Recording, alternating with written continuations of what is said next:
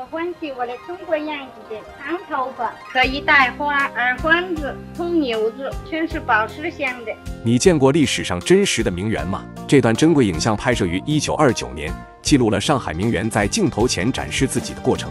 首先登场的是范小宝莲，她是民国时期上海著名建筑设计师范文照的夫人。在当时的上流社会，范小宝莲可谓是妥妥的社交明星。我喜欢我的头发，我的头发向後邊攣嘅，我耳環係玉同埋珠嘅，完全系中国嘅样子。他在镜头前用粤语展示着自己的发型，身穿黄色旗袍，戴着名贵耳环和珠子，举止投足之间无不彰显贵妇气质。接下来是唐宝梅，或许很多人不认识她，但她的父亲唐绍仪可谓是大名鼎鼎。唐绍仪曾是中华民国北洋政府第一任总理，还是民国著名外交家顾维钧的岳父。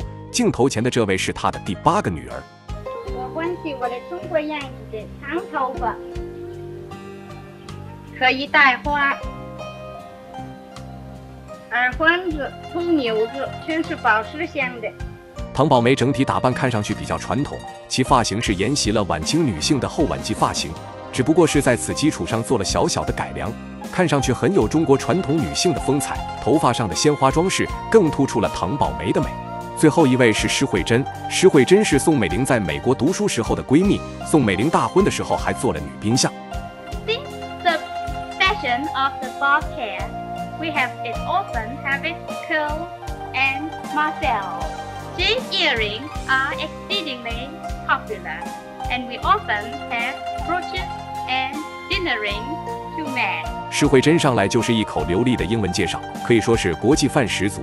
相比范小寶蓮和唐宝梅，施慧珍可以说是精致许多。其细长的眉毛，走在时尚最前沿的波波头，还有当时最流行的连体裙，处处透露出时尚范。不过那时的名媛和现如今的不同，那时候的名媛即使再美，也不会明争暗斗。其服装即使在新潮，也绝对不会袒胸露背。